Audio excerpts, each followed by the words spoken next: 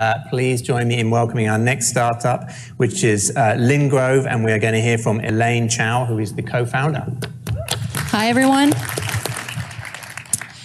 My name is Elaine. I'm a co-founder of Lingrove. We are a biomaterial company making wood without trees.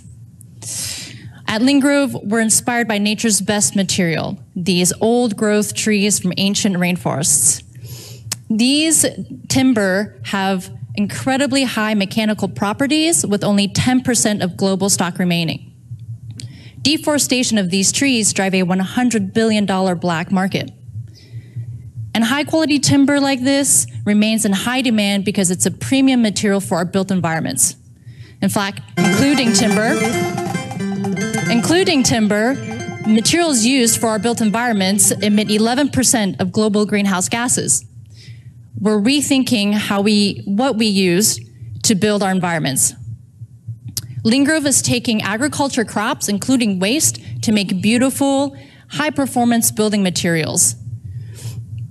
Our major input, flax, is mechanically comparable to aerospace fiberglass but unlike fiberglass, sequesters 1.4 tons of carbon per ton of fiber. At scale, our products will be the equivalent of taking 97 million cars off the road.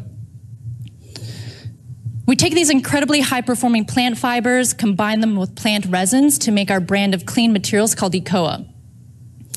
Ekoa today is nominated as the biocomposite of the year and is available as veneers for the interiors. We don't use any ingredients on the red list. Ekoa is lighter than carbon fiber, stiffer than steel, with a ridiculous amount of colors and finish combinations, not to mention translucency and compatibility with other technologies and materials. So I'm really pleased to announce today that our veneers are available for pre-order. So look out for Ekoa on your next table, ceiling, or wall. In fact, better yet, spec it into your next project Please come to the startup table to talk to us. Otherwise, email me at elaine at lingrove.com. Thank you.